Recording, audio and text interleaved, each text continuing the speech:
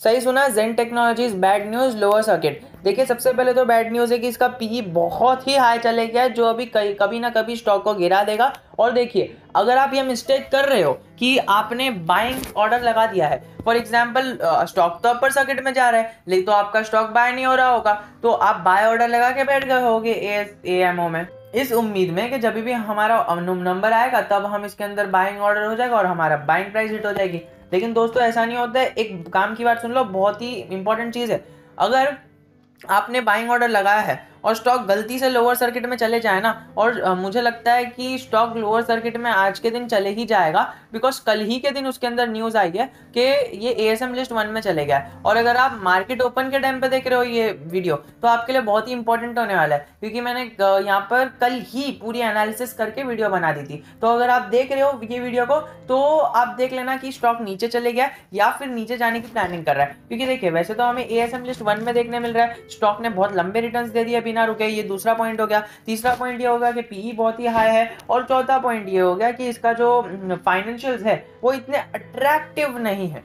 अगर आप फाइनेंशियल्स देखो तो इसका ईयर ऑन ईयर अगर आपको ग्रोथ दिख रही है, लेकिन अगर आप फाइनेंशियल्स पे एकदम तगड़ी नज़र डालोगे ना तो आपको पता चलेगा फाइनेंशियल्स इतने कुछ अट्रैक्टिव नहीं है। क्योंकि हम पीएनएल स्टेटमेंट देखेंगे ना पीएनएल स्टेटमेंट में हमें दिखेगा ये जून क्वार्टर में 2020 में चार करोड़ का प्रॉफिट और फिर बाद में मार्च क्वार्टर में अठारह और फिर जून में नीचे आ गया। तो हमें अनसर्टेनिटीज बहुत दिख रही है। ये तो बस ऑर्डर बुक में यहाँ पर वैल्यूएशन बढ़ गई और सरकार ने मोनोप्लिस्टिक बींग मोनोप्लिस्टिक कंपनी इसने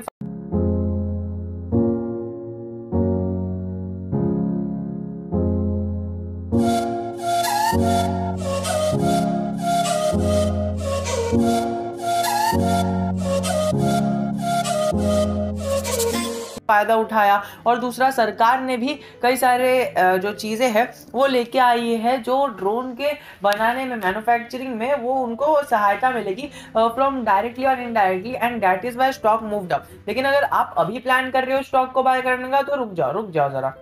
ये हमें स्टॉक नीचे जाने वाला था, मैंने आपको बताया था कि स्टॉक नीचे जाएगा और मैंने आपको एक कमेंट में भी रिप्लाई दिया था कि जेंटेक नीचे जाएगा, लेकिन वो ऊपर क्यों गया? Only because of this order 155 crore का ऑर्डर इंडियन एयरफोर्स की फोर्स की तरफ़ से इन्हें मिल गया and that is by the stock search up लेकिन अभी सेबी भी अभी और क्या करे ना? सेबी को अगर स्टॉक ऊपर जाते हुए दिख रहा है तो वो ऐड ज़रूर करेगा। सेबी थोड़ी ना छोड़ने वाला है, क्योंकि ये इतना ज़्यादा ऊपर जा रहा है तो यहाँ पर ऑपरेटर्स का ही हाथ रहेगा। और रिटेलर्स को हम जैसे और आप जैसे लोगों को यहाँ पर नुकसान ना हो, इसीलिए सेबी ने एएसएम लिस्ट लाया है। और हमें कल ही के दिन, यहाँ पर एएसएम लिस्ट वन में देखने मिला। अभी एएसएम लिस्ट वन में देखिए, पाँच से पंद्रह दिन लगते हैं स्टॉक को बाहर आने के लिए। तो आपको पाँच से दस दिन का वेट करना ही पड़ेगा। मिनिमम तो पाँच दिन का वेट करना ही पड़ेगा बाय करने से पहले। बिकॉज़ इसके अंदर लंबी भी गिरावट आ सकती है। मैं ऐसा नहीं कह रहा स्टॉक खराब है कंपनी खराब है कंपनी को बेच दो बैन करप्ट ये सब चीज़ें मैं नहीं बोल रहा। मैं बस ये बोल रहा हूँ कि स्टॉक के अंदर हमें देखिए बोनस और स्प्लिट्स हमें कभी देखने नहीं मिले। तो आगे जाके बोनस और स्प्लिट्स भी देखने मिल सकते हैं।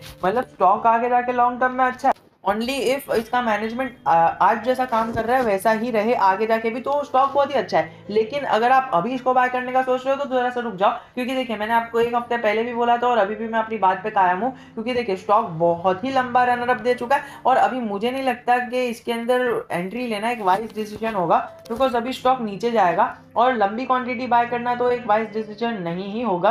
तो उस बात का आप ध्यान रख सकते हो सेल्स ग्रोथ देख सकते हो सेल्स ग्रोथ में इसमें कंटिन्यूस ऐसा सीधी वाली सेल्स ग्रोथ नहीं है अनसर्टेनिटी बहुत है। जिस तरह की आपके सामने ही सेल्स ग्रोथ है। और अगर प्रॉफिट ग्रोथ देखो तो उसके अंदर भी अनसर्टेनिटी बहुत ही ज़्यादा है।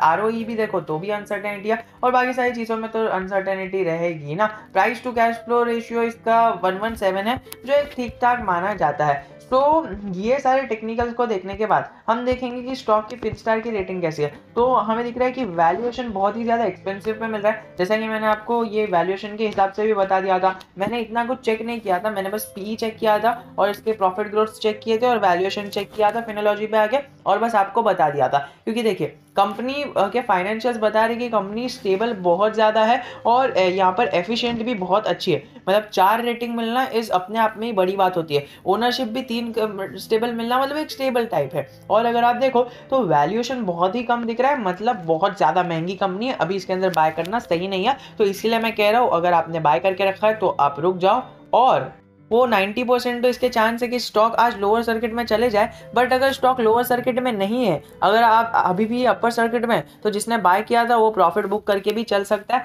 मतलब फुल्ली प्रॉफिट बुक नहीं करना है तो भी थो, थोड़ा एक पार्शियल प्रॉफिट भी बुक कर लोगे तो आपका एक थोड़ा सा मतलब एक भला हो जाएगा। और कंपनी पर डेट भी देख सकते हो डेट ना के बराबर ही और कैश है जो डेट को हटा ही देगा सो वर्चुअली डेट फ्री भी है स्टॉक सो आई होप कि आपको वीडियो पसंद आया होगा। If you have any doubt I am always just a comment away from you